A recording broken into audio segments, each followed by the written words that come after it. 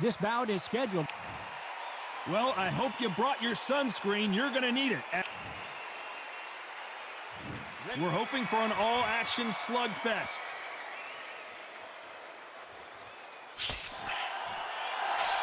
The jab doesn't quite connect.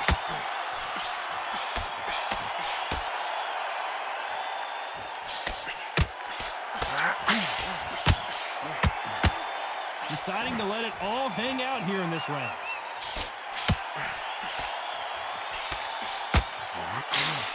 A lot of high hopes and aspirations from the fans and media alike as we get set for this main event under the sun.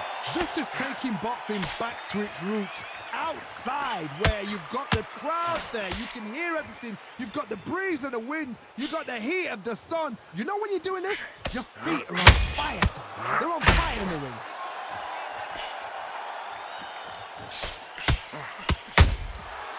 Beautiful counter shot.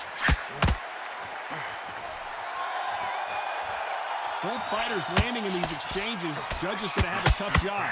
And this is a you hit me hard, I'll hit you hard type of fight. A very close match. It shows the skill, the discipline, the respect both fighters have for each other because no one dare do anything out of turn. Those counter punches have to hurt.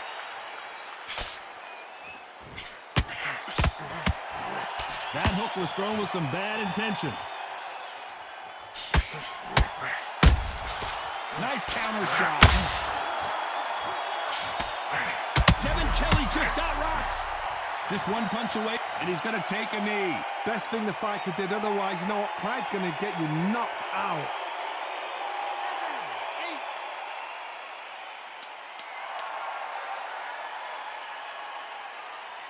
Very close. Every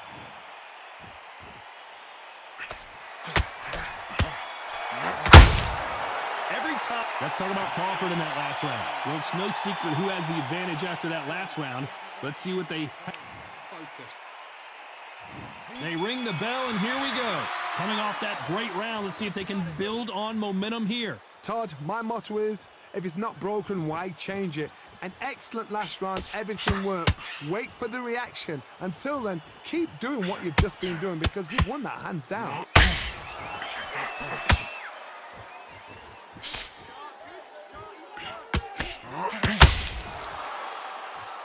The straight right just misses.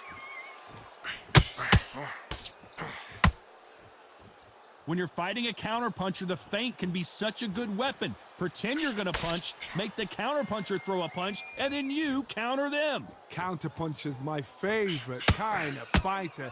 A good counterpuncher, they're the people that make the history of our sport. And his right hand is blocked. What a knockout headshot. Let's watch it again. And they knew it when they threw it. I need to see that again.